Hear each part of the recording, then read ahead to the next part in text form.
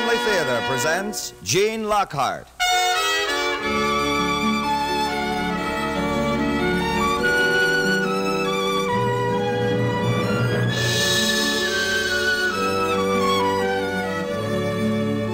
From Hollywood, the Mutual Network, in cooperation with Family Theater, presents A Dog's Life.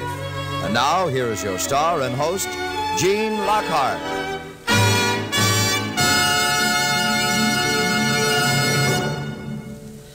Thank you, Tony Lafrano. Family Theatre's only purpose is to bring to everyone's attention a practice that must become an important part of our lives if we are to win peace for ourselves, peace for our families, and peace for the world. Family Theatre urges you to pray, to pray together as a family.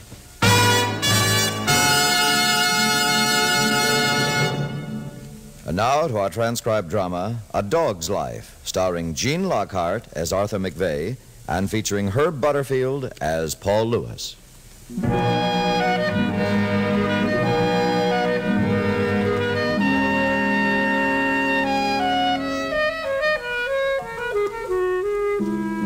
By four o'clock that afternoon, Paul Lewis was back in town.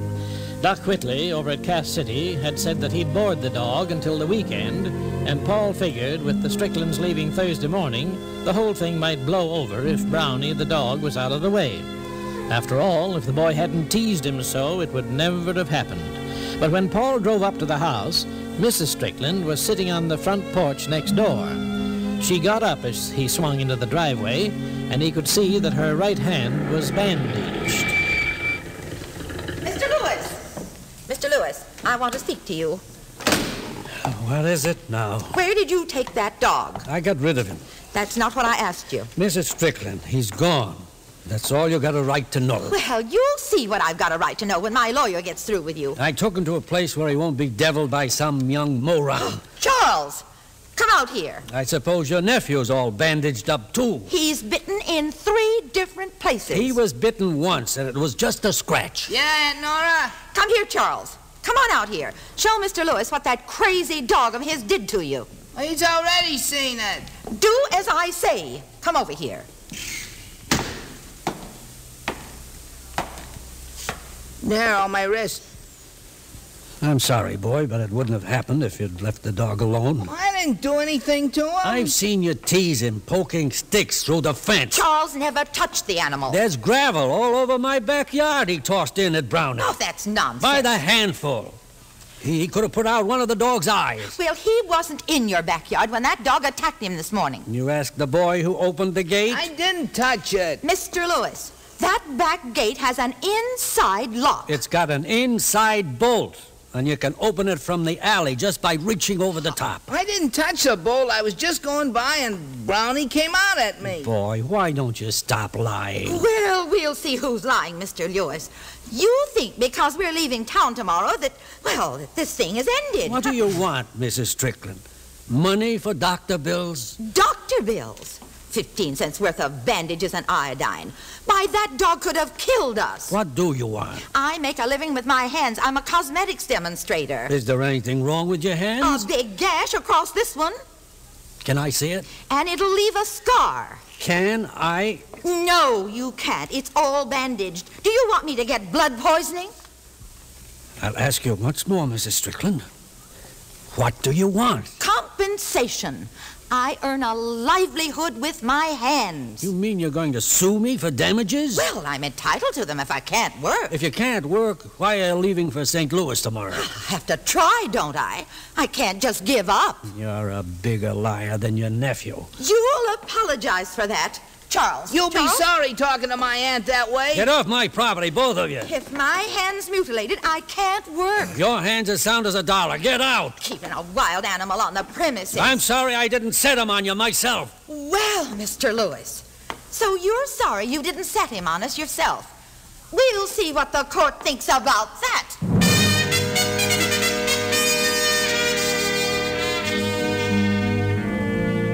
When the Stricklands first rented the cottage next door, Paul Lewis didn't think much about them one way or the other. Every fall, a lot of people from the north came down to Miami to take jobs in one of the clubs or hotels. As a rule, we natives do our best to make them feel welcome. But with the Stricklands, right from the beginning, Paul had had trouble. Living alone, he'd had to leave Brownie in the backyard while he was working. And young Charles never missed a chance to stir up the dog and get him barking, and that brought complaints from the other neighbors. So, the next morning, when Paul watched the Stricklands drive off a little after seven, he wasn't sorry to see them go. All day at the bank, he kept trying to convince himself that maybe he'd heard the last of them. But then, about 6.30 that evening, while he was finishing up the dinner dishes, I rang his front doorbell.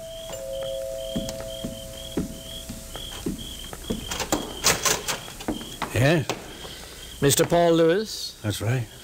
my name's Arthur McVeigh. I'm an attorney. May I come in? Uh, yeah, of course. What can I do for you? Sit down. Thank you. Uh, I represent Mrs. Nora Strickland. Uh, she said you had been told to expect me. She's really going through with it, huh? I beg your pardon? She's going to sue me? Well, in my estimation, she has a sound case. Says you.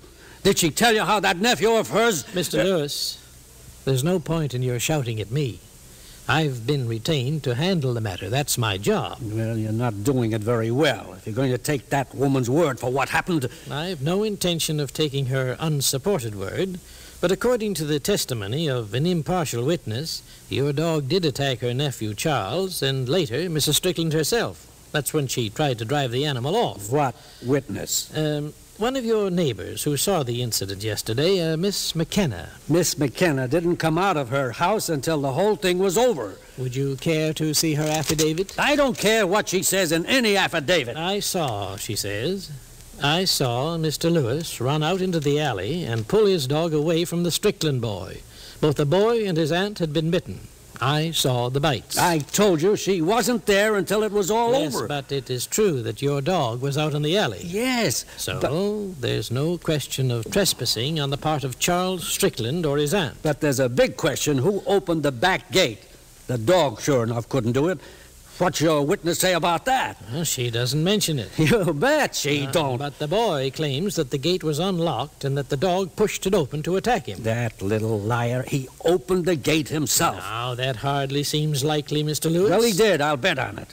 He was always teasing Brownie. Um, incidentally, uh, where is the dog? Uh, I got rid of him. Oh.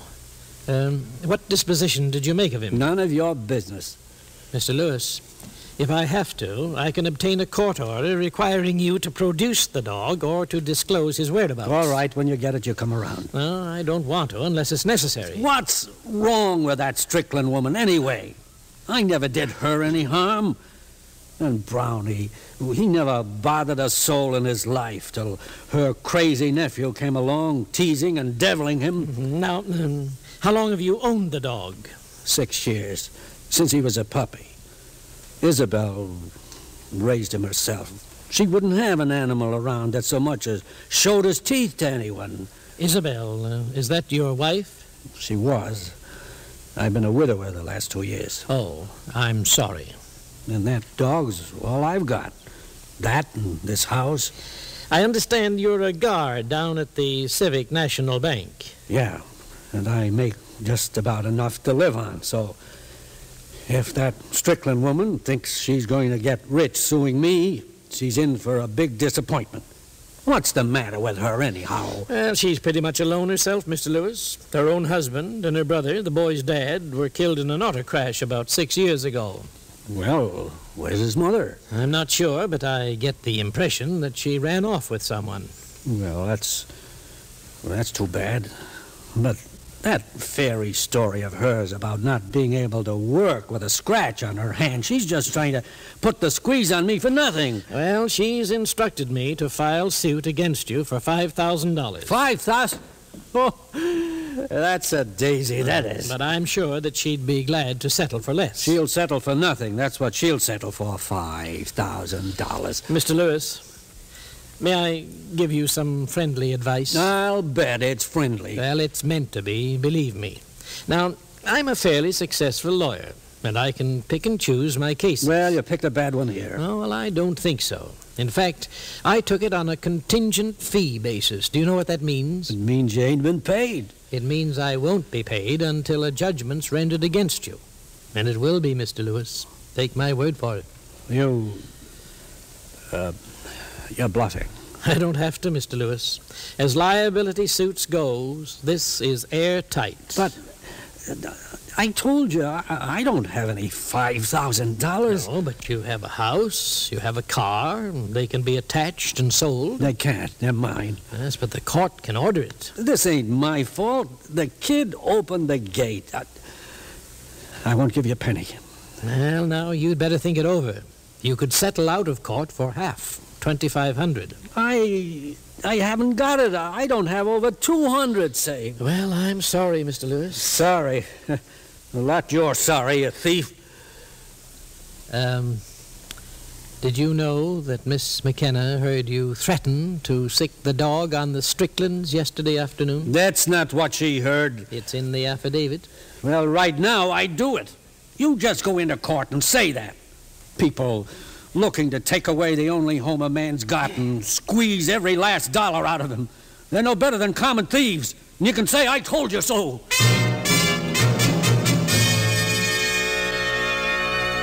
After I left, Paul waited for it to get dark before he went out on the front porch.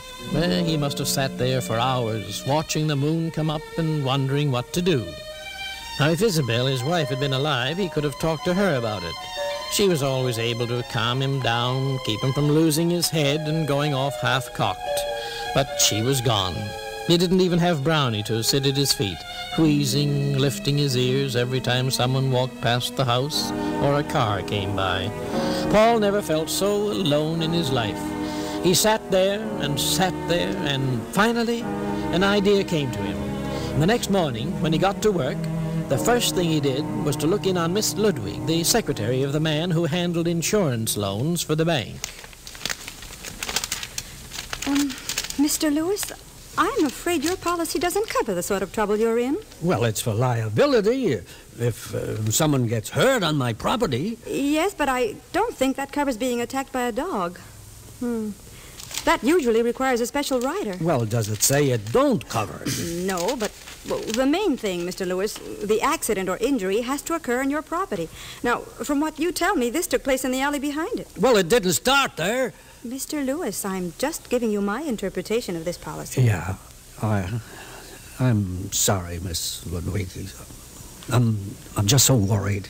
Uh, Not that I claim to be an expert, but. no, uh, no, you're, you're, you're probably right. Well, this sort of policy covers things like oh, delivery men who slip on your sidewalk, painters, repairmen, well, that kind of liability. Yeah. Well, well, could I borrow any money on this insurance if I need it? Mm-mm. Not on a liability policy, I'm afraid. But if you have any equity in life insurance or something of that kind, No, no, I'm afraid not. All I had was straight life, and when Isabel died, I, I, I dropped it. No one else to leave it to. hmm, I see. I, um, I guess I'm out of luck, huh? Well, why don't you wait and see what happens, Mr. Lewis? Maybe, well, maybe it's not as bad as you think.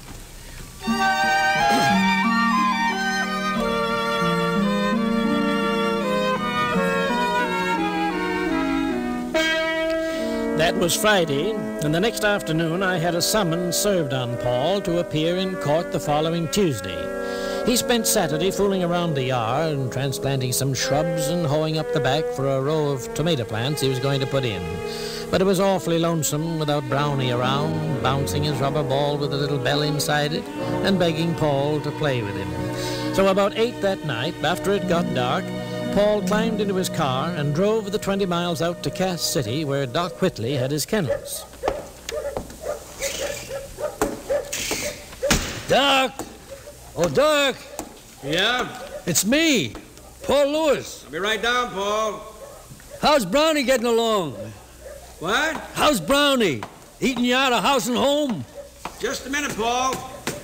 Is anything wrong, Doc?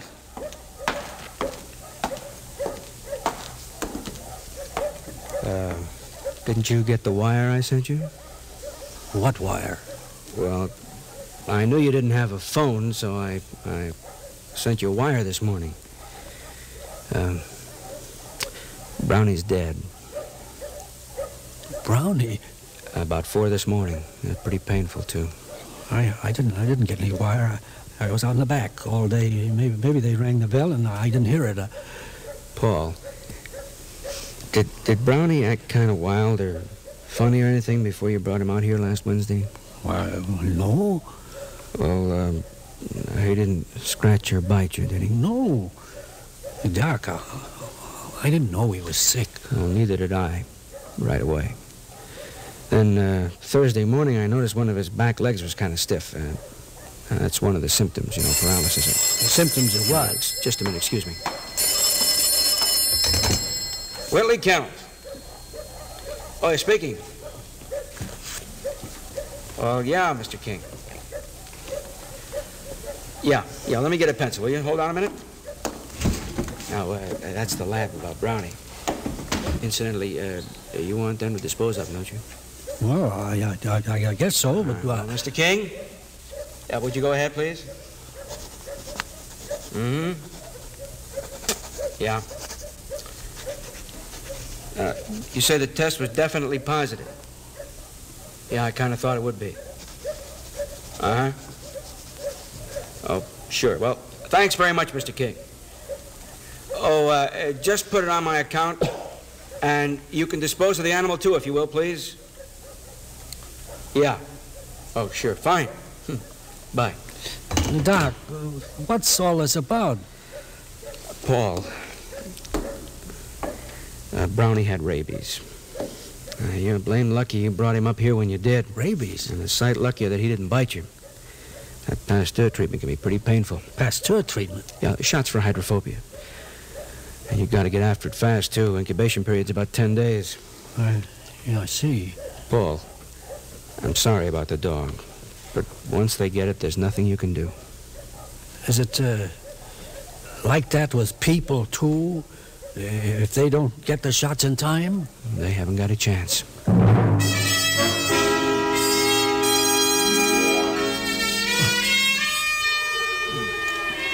All the way home, Paul kept thinking about it. It was terrible. But so was what the Strickland woman was trying to do to him. Maybe force him to sell his home, put him out on the street without a penny. She'd be almost all the way to St. Louis now, she and the boy. And I'd told him that they didn't have any other relatives. With them gone, there'd be no one to sue him. Might even be no one who'd know what happened to them if he just kept his mouth shut and sat tight. All day Sunday, Paul sat around the house trying to think it out. Now, when a robber comes into your front door with a gun, you've got a right to fight back and even kill him if you have to. And if some stranger comes along and tells a lot of lies in court and is going to cost you everything you own, you have a right to fight back. It's just self-defense. That's all it is. It's them or you. Monday morning, Paul called the bank and told them he'd be a little late.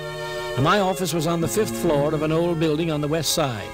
And when Paul first came in, I guess I started off with a sort of chip on my shoulder, because I thought he'd come to make a fuss, but he made me change my tune in a hurry. Uh, are you telling me the truth? If you don't believe me, call out to the kennels. Doc Whitley will give you the address of the laboratory. And the doctor said it takes 10 days for the disease to hit? That gives him until Friday. When did you find this out? Saturday night. And you've waited two days to say anything? Mister, you're lucky I'm not still waiting. If I didn't have any more conscience than you or that Strickland woman. All right, now, take it easy. You save your sermons for when you talk to her. Yes, if I talk to her. What? I don't know how to get in touch with the woman. Oh, didn't she give you an address? Just St. Louis. She said she'd write when she got there. Wasn't she supposed to have a job waiting? Well, just prospects. I don't even know where they were. I guess all we can do is to wire a description to the St. Louis police and hope that they find her in time. That that don't sound like it's got much chance. Not in four days. Well, I don't know what else to try. Why don't you take a plane there yourself? At least it... I wouldn't know Mrs. Strickland if she walked through that door. You wouldn't know her? No, she was referred to me by a legal aid service. I spoke to her over the phone last Wednesday night, but I've never even seen her. You you take on clients you've never met? Well, that's quite common. I mail her the necessary deposition, she signs it and sends it back. Happens every day. Well, this ain't getting us any closer to finding her. Look, would you consider going with me to St. Louis? That wouldn't do any good. Besides, there's other people you could get who'd know her. Maybe. But I think if you went to this much inconvenience to help her, she might be grateful enough to drop the suit altogether. And who'd pay for the plane tickets? well, I'll split it with you. All right. But you better wire ahead to the police anyway.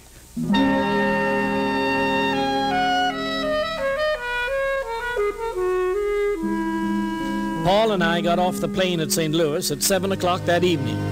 There were some newspaper reporters and a captain from the police force to meet us. For the next two days, we visited about every cosmetics counter in every department store in the city. The papers gave it as much play as they could. They printed pictures of Paul and me, and even an old snapshot he had of Brownie, but nothing happened. There'd been a few false alarms, you know, people who'd called in to say that they'd seen the Stricklands in one place or another, but the police wrote most of them off as cranks or folks who just wanted to get the pictures in the paper.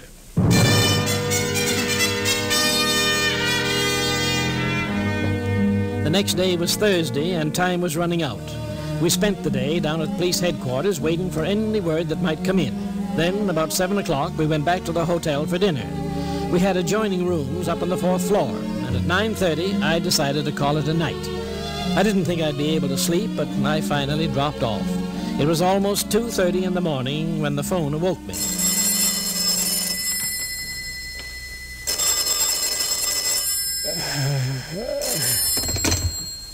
Hello? Mr. McVeigh? Yes? Captain Ashton calling. Hold on a moment, please. Sure. Who's calling? At the police department, Ashton. Anything important? I don't know yet. Mr. McVeigh, Yes? Captain Ashton. We've had a long distance call from a woman in Chicago who claims to be Mrs. Strickland. In Chicago. That's right. We got her on another line now. I'd uh, like you and Mr. Lewis to speak to her.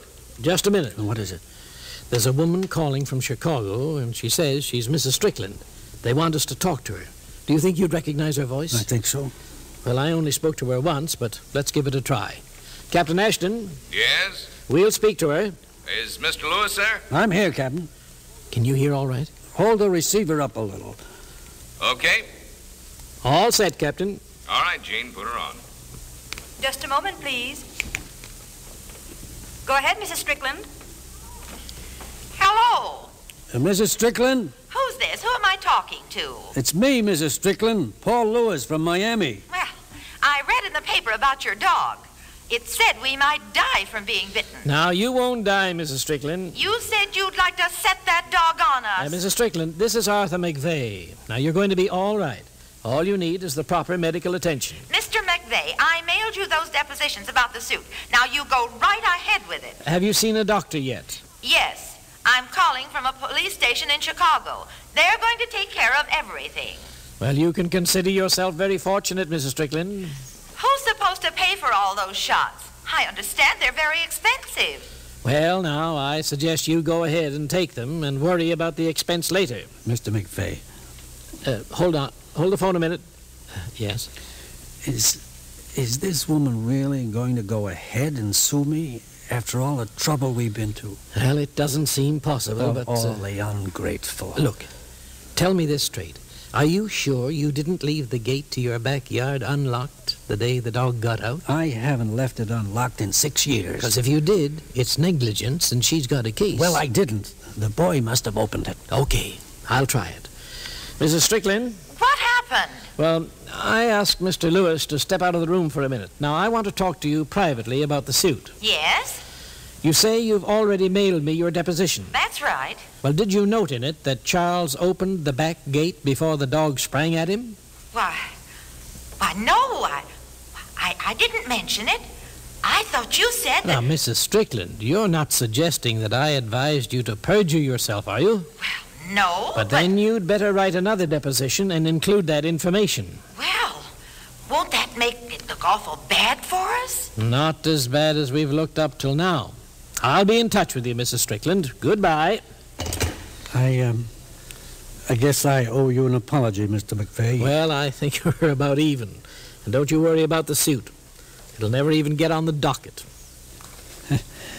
It's, it's funny what people will do when they get desperate and lonesome. Yes.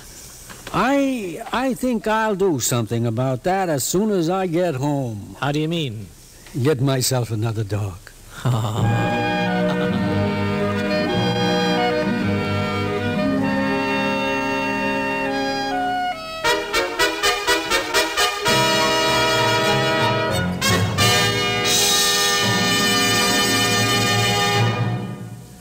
And now, here's your star again, Gene Lockhart. Thank you, Tony. Each week at the end of our Family Theater broadcast, you hear a slogan The family that prays together stays together. And perhaps you wonder just how we believe family prayer can aid family unity. When we say a family that prays together stays together, we mean that God actually comes into that family. For through prayer, we include God in our family circle. We acknowledge Him as the real head of the home, and we accord Him one of the responsibilities normally belonging to the head of a family, the job of keeping it together. It's a great method of preventing disunity in the home. Ten minutes a day devoted to family prayer can keep love in a home, and in many instances, bring love back to a home which might be on the verge of failure. It's a preventive medicine and a curing medicine, family prayer. Try it. You'll see. More things are wrought by prayer than this world dreams of.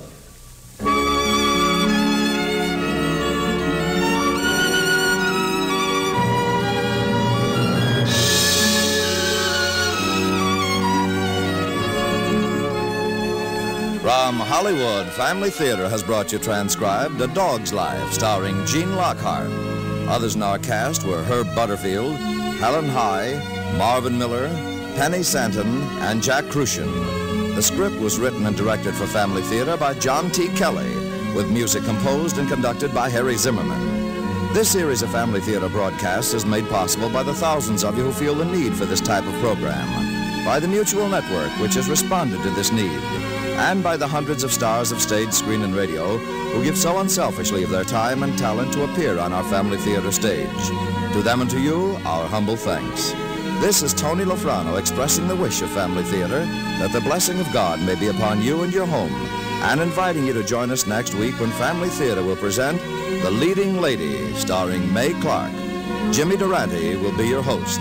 And on Thanksgiving Day, over most of these stations, Family Theater will bring you a special hour-long presentation of the Thanksgiving Hour, starring Anna Maria Alberghetti, Walter Brennan, Wallace Ford, Ruth Hussey, Victor Jory, Howard Keel, Jo Stafford, and the Moreau Seminary Choir from the University of Notre Dame. Consult your radio log for time.